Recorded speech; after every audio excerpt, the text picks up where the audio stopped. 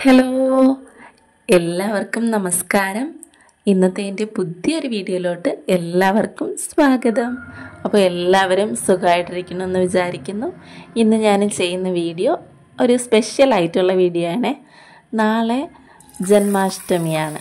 അപ്പോൾ കണ്ണന്റെ പിറന്നാളാണ് നാളെ.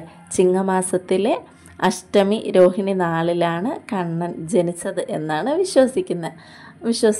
വിശ്വസിക്കപ്പെടുന്നു അപ്പോൾ നമ്മൾ വീട്ടിൽ അതിന് വേണ്ടിയിട്ടുള്ള ഒരുക്കങ്ങളെല്ലാം തന്നെ ചെയ്തിട്ടുണ്ടാവില്ലേ?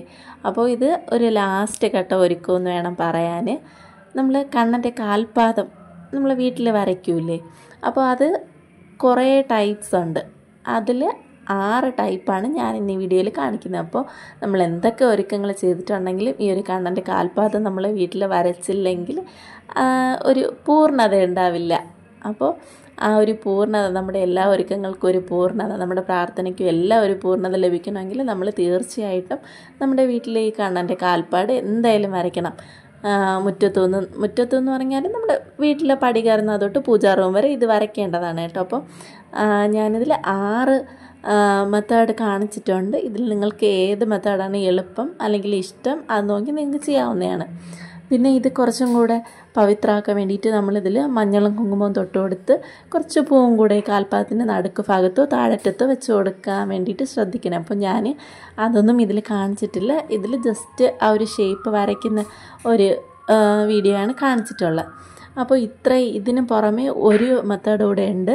ഏഴാമത്തെ ഒരു മെത്തേഡ്. അത് നമ്മുടെ വീട്ടിൽ കുഞ്ഞിക്കണ്ണനോ രാധ ആരുണ്ടെങ്കിലും അവരുടെ പാത ഇതുപോലെ അരച്ച മാവിൽ മുക്കിയിട്ട് ഇങ്ങനെ തൊട്ട് കൊടുക്കാവുന്നതാണ്. അപ്പോൾ അത് കാൽപാദം കറക്റ്റായിട്ട് വരും കേട്ടോ. അപ്പോൾ നിങ്ങൾക്ക് ഏതാണോ ചെയ്യാൻ ഇഷ്ടം എളുപ്പമുള്ളത് അത് നിങ്ങൾ എന്തായാലും നാളെ വീട്ടിൽ ചെയ്യുക. അപ്പോൾ വീഡിയോ കാണുന്നവരൊക്കെ നിങ്ങൾക്കിത് ഇഷ്ടപ്പെട്ടിട്ടുണ്ടെങ്കിൽ തീർച്ചയായിട്ടും ലൈക്ക് ചെയ്യുക. മറ്റുള്ളവർക്കൂടെ ഒന്ന് ഷെയർ ചെയ്ത് കൊടുക്കുക. പിന്നെ ഇമ്പോർട്ടന്റ് ആയിട്ടുള്ള ഒരു കാര്യം ചാനൽ സബ്സ്ക്രൈബ് ചെയ്യാത്തവരുണ്ടെങ്കിൽ ഒന്ന് സബ്സ്ക്രൈബ് ചെയ്ത് സപ്പോർട്ട് ചെയ്യുക. അപ്പോൾ ഇത് പച്ചരി പച്ചരി കൗരായിട്ട് അരച്ചെടുത്ത ആ ഒരു മാവാണ് കേട്ടോ. അപ്പോൾ അതിൽ ഇനി ആർക്കും സംശയമൊന്നും വേണ്ട.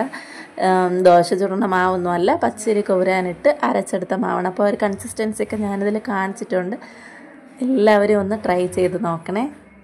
അപ്പോൾ എല്ലാവർക്കും ഒരിക്കൽ കൂടി ജന്മാഷ്ടമി ആശംസകൾ.